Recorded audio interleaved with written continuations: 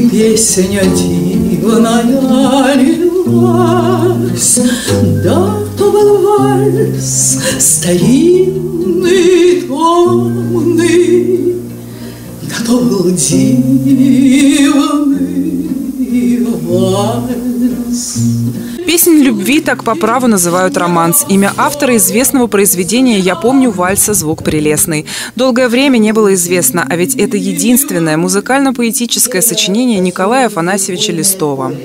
Он говорил мне яркой звездою Романсы, любительские спектакли, комедийные зарисовки, шутки, водевили, жанровый репертуар загородных театров. Актеры, дачники собирались на летних сценах и играли. Не угодно ли вам будет э, приготовить подарочек?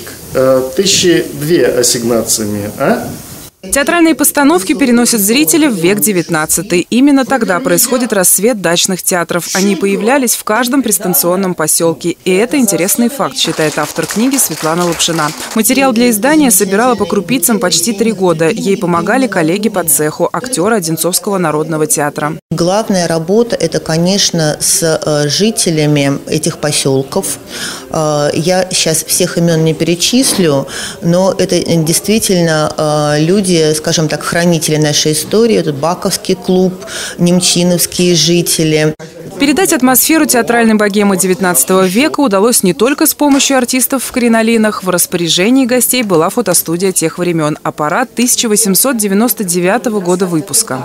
Мадемуазель, сейчас мы будем фотографироваться. Смотрите вот сюда. Так может почувствовать себя в фотостудии. Снимаю. Снято. Остановить мгновение минимум на 5 секунд, и на память у гостей вечера останется не только книга, но и фотокарточка. Важно, чтобы эту книгу увидело молодое поколение э, те, кто станут активными гражданами нашего Одинцовского городского округа. И на примере своих предшественников у них э, есть хорошая возможность продолжать э, историю и краеведения, и ярких культурных традиций на нашей Одинцовской земле.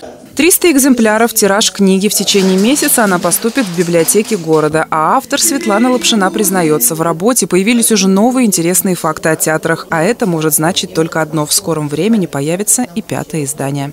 Василиса Ивашкина, Денис Харламов, телекомпания «Одинцова».